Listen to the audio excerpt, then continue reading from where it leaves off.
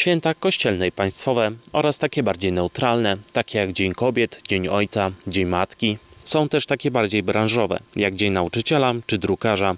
Swój dzień w kalendarzu mają też psy i koty, a teraz być może także i konie.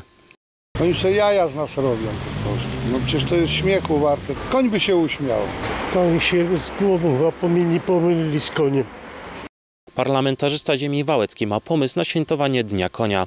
Nam chodzi o odgłos paszczą.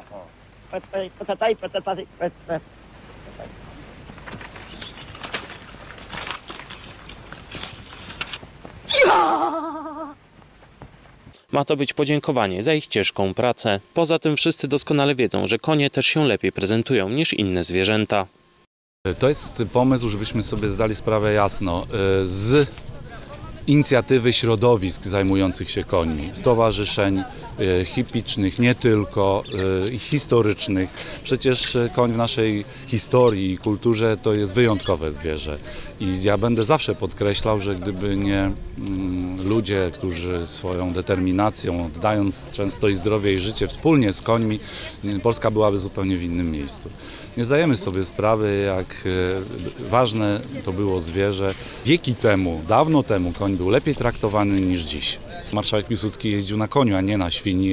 Święto to ma promować hippikę i jest to dobry pomysł według miłośników tych zwierząt. Wzorcu świętowania zaś poseł zamierza szukać w tradycjach choćby Stanów Zjednoczonych.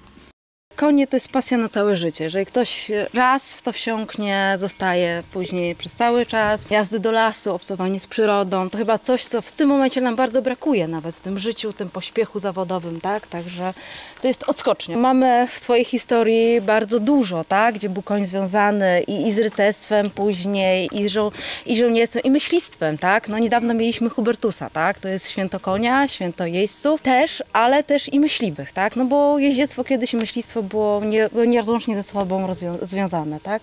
Także no jest to coś fajnie, żeby był Dzień Konia, wspaniale. Koń jak jest, każdy widzi.